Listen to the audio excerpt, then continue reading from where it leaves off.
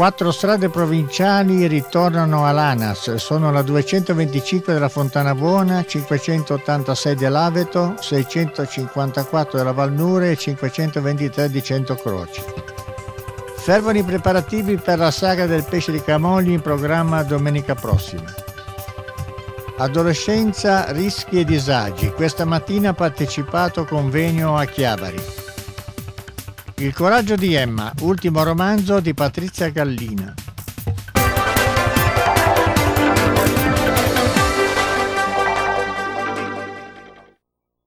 Buonasera telespettatori di TG Tiguglio, iniziamo la serie delle nostre notizie dei servizi parlando di viabilità è ufficiale, le quattro strade del nostro territorio ritornano alla, all'ANAS come era un tempo. Si tratta della 225 della Fontana Buona, 586 della Valle dell'Aveto, 654 della Valnure e 523 del Valico di Cento Croce. La maggior parte delle strade collegano con la, la regione Emilia-Romagna. Vediamo.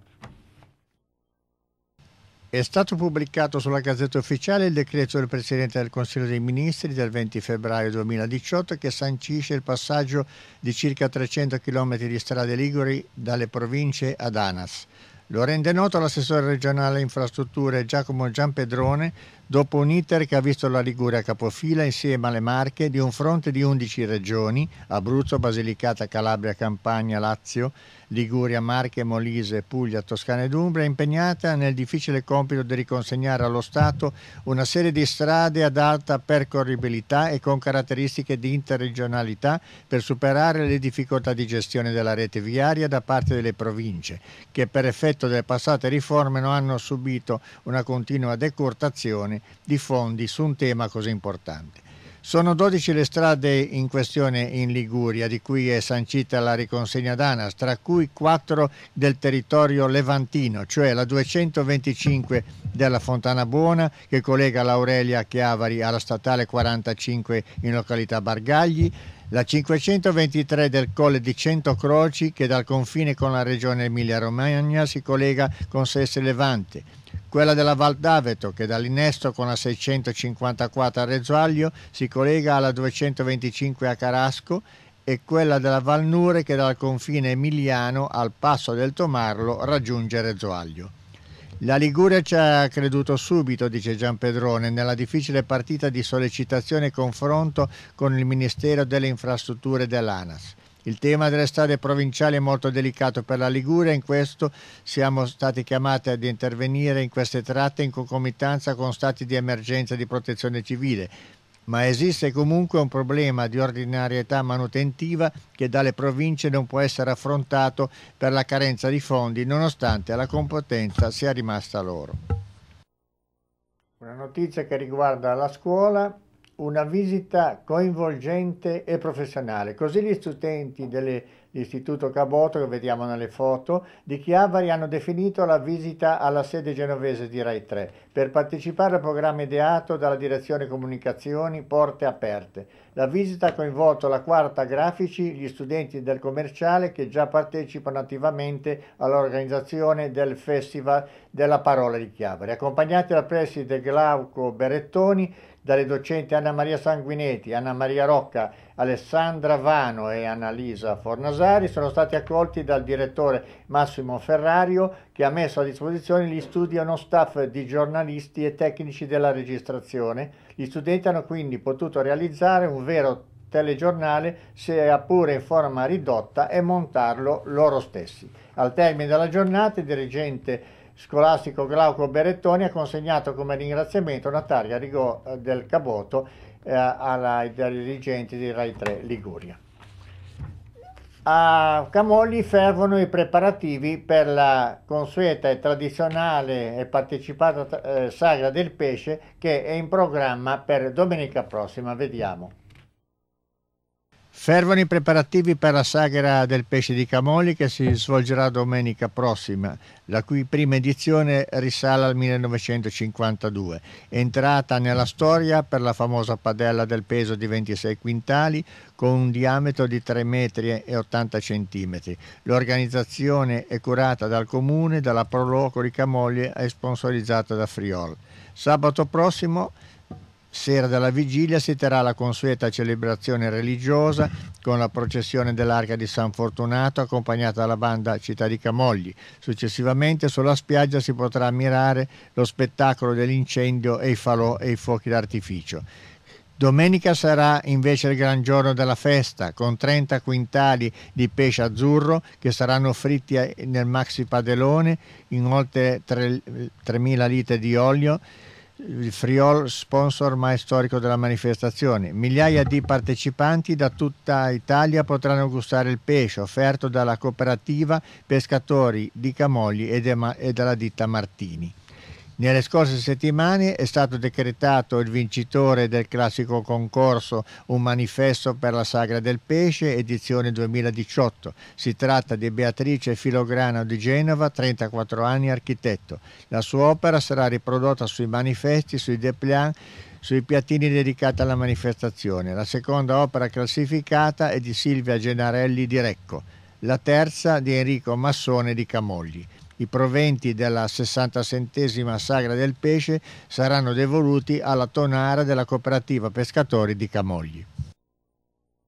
Passiamo alla notizia di cultura. Venerdì prossimo alle 21 va in scena l'anteprima nazionale dello spettacolo Ovidio o l'arte di amare di Nicola Gardini e Carlo Fava. La stagione 2017-2018 di Sori Teatro, organizzata dal teatro Pubblico Ligure con la direzione artistica di Sergio Maifredi. Si chiude con questa produzione che inaugura il progetto di Maifredi e Gardini Viva il Latino, storia e bellezza in lingua inutile, stesso titolo del bestseller di Gardini edito da Garzanti nel 2016 e subito impostosi come fortunato caso editoriale festeggiato nelle 12 edizioni. Il volume sarà in vendita la sera dello spettacolo nel foyer del teatro di Sori.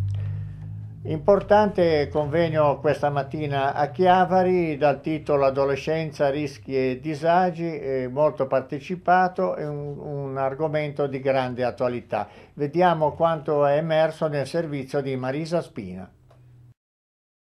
Ci sono stati alcuni termini che lei ha usato per identificare un certo tipo di eh, comportamento che dovrebbero avere i genitori nei confronti degli adolescenti ed erano presenza, ascolto e limite.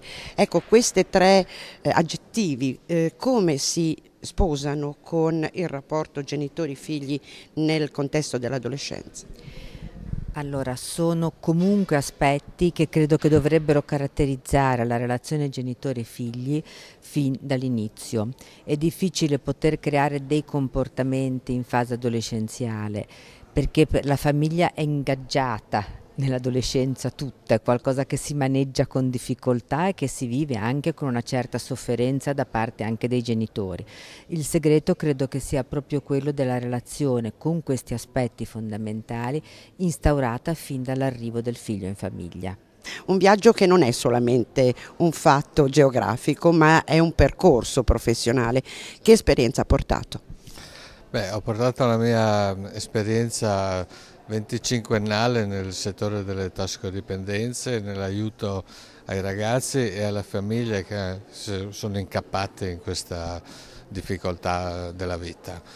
E per cui eh, quella che è stata la mia esperienza ho cercato di portarla in questo in questa tavola rotonda con l'obiettivo di dare un piccolo contributo a chi si occupa ancora di queste difficoltà e alle famiglie, agli insegnanti che in qualche modo hanno il loro ruolo educativo eh, per la crescita dei ragazzi. Io sono molto contenta di, delle persone che hanno organizzato questo incontro e spero che, di aver dato insieme ai miei colleghi qualche risposta ai genitori erano, e agli insegnanti che erano presenti in aula. Qualche risposta perché ovviamente nessuna risposta può mai essere esaustiva totalmente, sempre, rimane sempre un ambito di incertezza che è anche importante che le persone colmino da sole.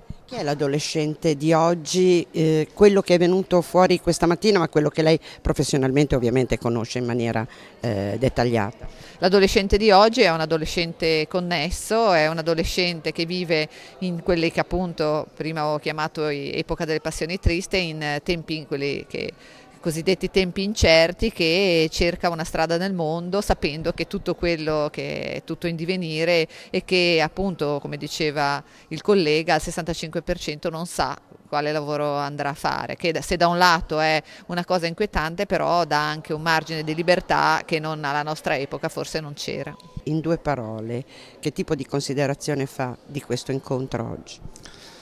Ma direi che è un momento importante ricordare periodicamente e, chiamare la, la, comunità, la comunità dei cittadini periodicamente attorno ad un tema importante nella realtà locale del, del territorio, su questo tema ma anche su altri temi eh, non, non, meno importanti che possono riguardare appunto lo sviluppo dei giovani, eh, la famiglia, eh, la parte dell'occupazione, la parte de, del mondo del lavoro, la scuola soprattutto.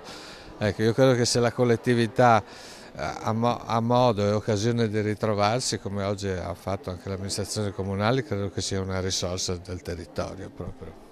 Un'altra notizia di carattere culturale, come in ogni settimana, per martedì prossimo alle 16.30, tredicesimo corso di cultura genovese a cura dell'Associazione Culturale O Castello. Il titolo è Arrivederci a Casimiro e a Pippo, una conversazione curata dal vice governatore del Castello Cesare Dotti nella sala Livelara di Chiavari. Rimaniamo in campo culturale, è stato presentato l'ultimo romanzo di Patrizia Gallina dal titolo Il coraggio di Emma. Vediamo l'intervista all'autrice curata da Joel Cappello. Un romanzo ambientato nell'Ottocento, Il coraggio di Emma, il terzo libro scritto da Patrizia Gallina, un eh, libro che potete trovare eh, a Genova, però potete anche contattare direttamente l'autrice e intanto chiediamo un attimo dove è ambientato e Qual è il tema di questo libro? Sì. Allora, intanto siamo nel periodo dell'Ottocento, è ambientato in Inghilterra, il mio libro, un romanzo storico dell'Ottocento. Eh, tratta appunto, è un libro che il tema viene affrontato diciamo spesso, è il tratto contro la violenza sulle donne. Eh, la trama appunto del mio libro è, eh, diciamo, siamo appunto negli inizi dell'Ottocento in Inghilterra dove c'è una giovane ragazza che rimane orfana, il suo nome è Emma Wilson, nonostante tutte diciamo le, mh, mm, le difficoltà difficoltà trova sempre il coraggio di affrontare e andare avanti con la sua vita. Eh, in seguito, diciamo, incontrerà anche l'amore della sua vita, ma diciamo come tutti i romanzi, eh, non voglio appunto svelare il finale del, del, mio libro. Il mio libro lo trovate anche presso la libreria a Genova Safigi e presso alcune librerie di Genova. Ricordiamo anche chi l'ha pubblicato questo libro perché è la casa editrice che ti segue già da diverso tempo. La casa editrice Egic come avevo pubblicato anche diversi eh, due miei libri e, e Egic. E ricordiamo allora, ma hai detto a Genova, quindi a Genova, sempre ricordiamo, presso le librerie, diciamo, come citavo prima, Safigi di Genova e presso alcune librerie di Genova.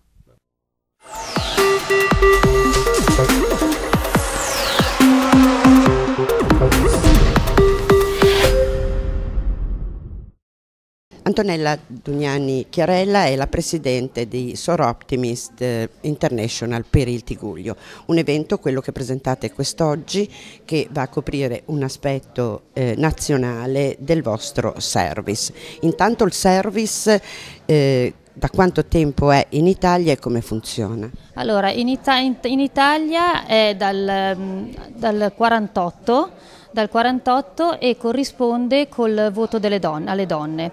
È nato a Milano, nei club di Milano, dopodiché si è praticamente divulgato in tutta Italia, man mano ci sono stati aperti dei club. Il nostro club è nato nel 1974 eh, in un ricevimento del Park Hotel Swiss di Santa Margherita, tra le quali la, la, la proprietaria è ancora nostra socia e, mh, mm, siamo in questo momento 42 socie e abbiamo avuto questa idea importante di fare un eh, consiglio nazionale eh, qui nel Tiguglio. Eh, il primo consiglio è stato fatto 16, cioè 36 anni fa eh, qui nel Tiguglio e dopo tanti anni eh, su mia idea l'abbiamo riportato nel nostro territorio. È un evento non solo importante per la nostra associazione nazionale, ma è anche importante per la, la, nostra terra, il nostro territorio dove appunto volevamo far conoscere le bellezze che eh, noi abbiamo nel nostro contesto. Ecco, cosa accadrà eh, durante il congresso? Allora, nel congresso inizieremo innanzitutto una serata importante il 10 di maggio a Sestri Levante dove ci saranno tutte le cariche nazionali riunite, che si chiama il Bureau e, mh, dopodiché il venerdì inizieranno i lavori dove arriveranno tutte le delegate perché questo è il consiglio delle delegate ed è tra l'altro l'avvenimento più importante di tutto l'anno per nostro, la nostra associazione e inizierà il tutto a Rapallo perché per questioni di territorio che eh, siamo in un territorio lungo e stretto perché nostro, nostri, i nostri comuni di competenza vanno da Sestri Levante a Portofino, sono sette comuni e ovviamente abbiamo dovuto eh, un pochettino restringere il campo perché trasportare 500 persone o accogliere in certe location 500 persone era praticamente impossibile. Per questo è stato scelto l'Excelsior Palace Hotel di Rapallo eh, dove ha una sala congressi che ha una capienza tale da poterci ricevere tutte quante e, mh, mm, e faremo alla sera poi il cocktail di benvenuto proprio all'Excelsior. Ci sono dei progetti in questo momento sui quali state lavorando? Allora, eh, noi eh, in questo momento abbiamo praticamente concentrato il tutto sul congresso nazionale perché è stato un lavoro molto impegnativo, anzi ringrazio tutte le socie che mi hanno aiutato, eh, hanno lavorato in equipe molto bene. Eh, invece il, ehm, lì nel congresso nazionale principalmente si parlerà dei, dei progetti nazionali e ci saranno dei confronti tra i progetti dei singoli eh, gruppi, dei singoli club.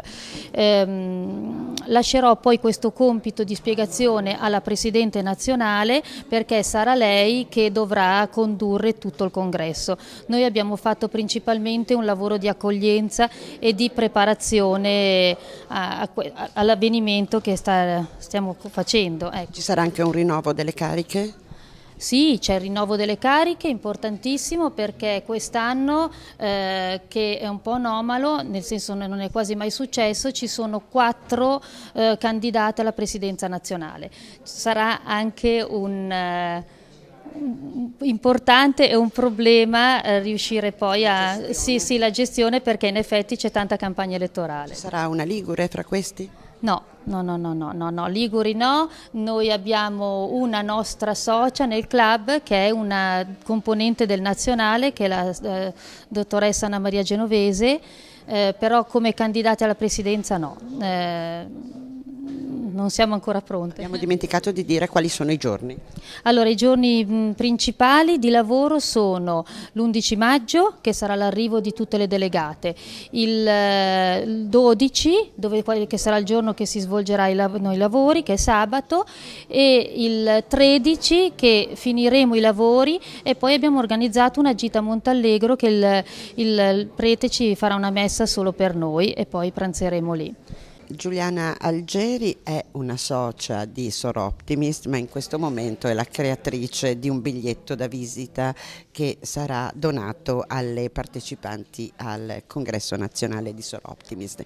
È un lavoro che vuole essere eh, un presente ma anche una eh, diciamo, traccia di questo territorio. Sì, assolutamente, è stato pensato in questo modo perché purtroppo i comuni del Tigullio ragionano ancora ciascuno per suo conto. Io già quando ero funzionario dicevo ma se il Tigullio vuole contare di più deve cercare di unirsi e di fare delle iniziative in comune. E allora proprio partendo da quest'idea ho creato questo opuscolo che mette sullo stesso piano in una linea che è quella della linea della costa le opere più rappresentative eh, del Tigullio che non sono opere di poco conto, ecco perché andiamo dalla, dall'abbazia della Cervara che è diventata veramente un'eccellenza per questo territorio al dipinto di Van Dyck eh, della eh, eh, di San Michele di Pagana, alla, alla tavola senese di primo 300 che è, alla, che è a Lavagna, che al momento è l'opera su tavola più antica che si conservi in Liguria,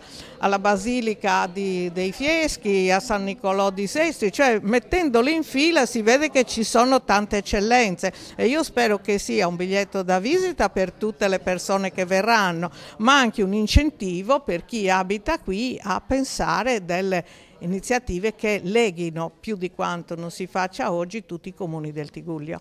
Lei in attività è stata la sovrintendente ai beni culturali della Liguria, quindi nel fare questa scelta che cosa ha privilegiato da presentare come territorio? No, io ho cominciato la mia carriera di funzionario prima di essere sovrintendente proprio come tecnico di zona del Tigullio, quindi conosco il Tigullio da ormai quasi più di 30 anni, 35 e parte delle opere che ho presentato sono opere che eh, ho individuato io come il Bernardo Strozzi di San Maurizio di Monti e sono opere che ho conosciuto nel tempo, quindi per fare questo d'altra parte senza esperienza eh, non si va molto lontano e quindi ho messo a frutto l'esperienza di tutti questi anni eh, per eh, cercare di creare una pubblicazione gradevole, ho cercato soprattutto di fare un testo agile che desse informazioni, per esempio la scheda sui portici di Chiavari è stata l'occasione per dire che Chiavari ha un preciso danno di nascita, data di nascita nel 1178, spiegare come è nata Chiavari, cioè ho cercato delle opere che fossero rappresentative anche in questo senso e che mi dessero eh, l'occasione per far conoscere anche un po' la storia al di là dell'opera che viene presentata. Quando sarà consegnata cosa dirà alle socie? Ma la troveranno nella, nella, borsa che verrà consegnata e io non dirò, non dirò niente, spero che apprezzino.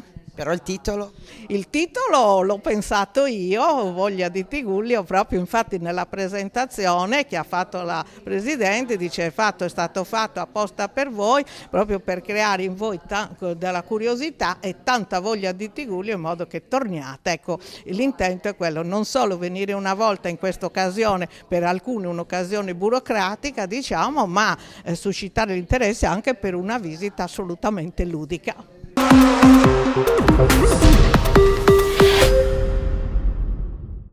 Siamo all'interno dello storico ristorante universale di Lavagna. Renato Montereggio è il eh, nuovo gestore, poi se avrà piacere ci racconterà, e ritroviamo questo antico locale, abbiamo già delle immagini che registrammo un po' di tempo fa, incredibilmente affascinante dove è stato eh, ricercato con un restauro conservativo importante l'originale e anche quello nuovo si è camuffato da antico. Bellissimo, bellissimo. Allora Renato, sappiamo che apri Apro giovedì sera, eh, inauguriamo, facciamo una bicchierata dove la gente verrà, c'è qualche stuzzichino, se ne prende, come si suol dire, un gotto e, e partiamo. E da sabato 12 partiamo. Partiamo con mille entusiasmi, nonostante che abbiamo qualche anno in più, però è una nuova avventura. Speriamo che ci dia una bella carica e avanti così. Lo farà perché sei in uno dei posti storicamente più importanti della città di Lavagna, perché il Giardino Universale, così si chiamava totalmente il complesso, era trattoria, bar, eh, berceau esterno e locale da ballo. Il Giardino Universale nel vulgo lavagnese in Tavigna per 50 anni è stato uno dei dancing più belli del Golfo del Tigullio. Oggi adibito eh, miseramente a parcheggio, ma tutta la parte interessante, quella del locale, è intatta, intonsa e se possiamo dire recuperata in modo incredibile. Senti, non ti ho anche domandato, ci te parla anche un po' senese sì. perché non siamo davvero in no. eh, terra o mare? Mare con qualche inserimento del, del menù della lampara, tipo il minestrone. Il che era locale per il nostro pubblico che avevi Prima, precedentemente. Precedentemente, non so, le crepe di farina di castagna ripiene di pesto, tutte queste cose che faceva la lampara, la trippa, lo stoccafisso che, che facevo là le voglio ripetere qua.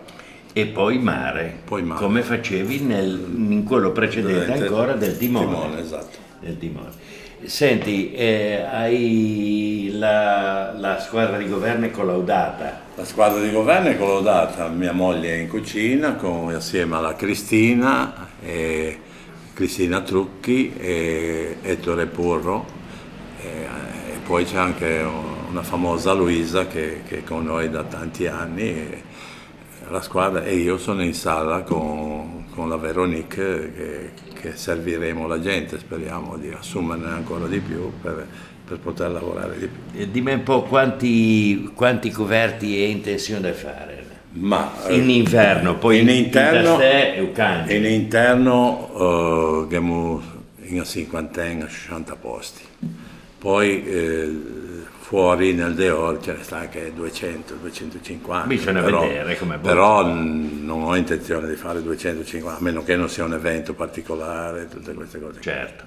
Senti, per non tirarla troppo lunga, perché sennò poi il pubblico cambia canale, un, un sacco di in bocca al lupo. Eh? Grazie, crepi il lupo. Allora noi, io e Marco, non veniamo all'inaugurazione, saremo tuoi ospiti la prima sera. Te capivo? Eh, ci veniamo a mangiare di parletti, ma te matto. Te capivo o mi fregò così? Eh? Renato Montereggio. Grazie.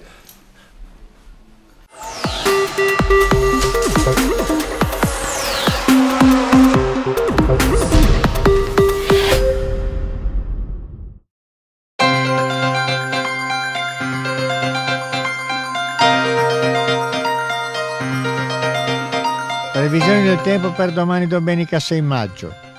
Spiccata variabilità con nubi alternate a schiarite, possibili deboli precipitazioni più probabili sui rilievi.